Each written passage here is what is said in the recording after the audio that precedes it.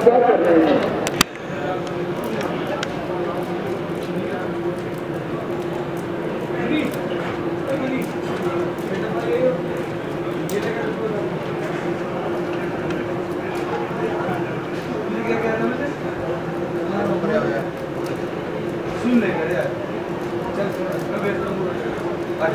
sir मत बोलना down जाए क्या है कुछ खिलाया